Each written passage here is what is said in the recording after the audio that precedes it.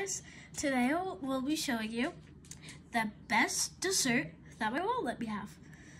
First, this is actually Christmas themed, even though it's not Christmas anymore, that's okay. This one is a red one with a bunch of sprinkles and I kind of see a little caramel.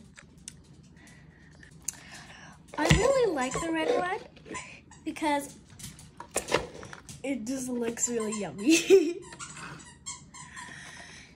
kind of like a pattern. Ooh, that one gave a lot of sprinkles. I don't know what this is, but that's okay. Um, I think we're gonna start by taking these little cute bows off. I actually kind of do want to keep these because they're really adorable. Oh, looks like it's attached to a string. Whoopsie. Don't know what to do about that, okay. I like these bows, they're so cute. Next, we're gonna take these off. Ooh, what is that? Maybe I should have it.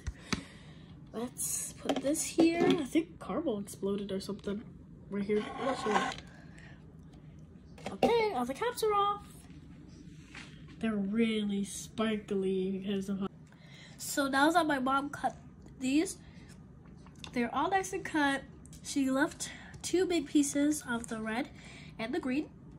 Make sure you have a parent do this part so you don't get hurt. I love how she cut them because just like there's sugar on them still and they're very small. Let's try it.